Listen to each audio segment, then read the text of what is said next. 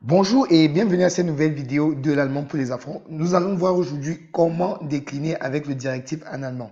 Si tu souhaites avoir des cours particuliers en ligne, je t'invite à, à, me joindre à l'adresse daflang.gmail.com et voilà. Et si tu veux aimerais un peu améliorer ton sprechen, j'ai conçu pour toi du coup un guide pour améliorer ton expression orale en allemand. Tu le trouveras dans les commentaires ou alors dans la description en dessous. Alors, comment décliner avec le directif en allemand?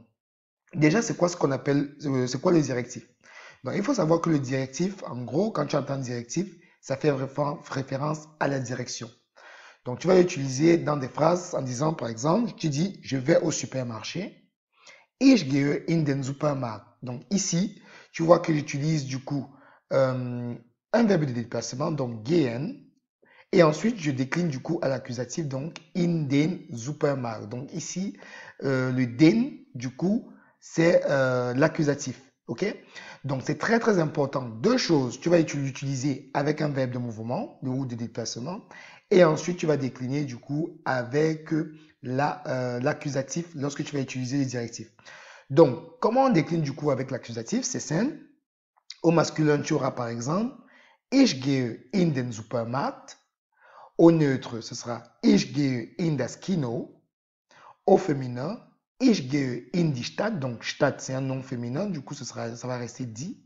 Au pluriel, Ich gehe in die Museen. Donc, du coup, euh, Museen, c'est le pluriel. Donc, ici, ça va rester dit. Donc, tu vois, donc, au masculin, du coup, on va passer du der au den.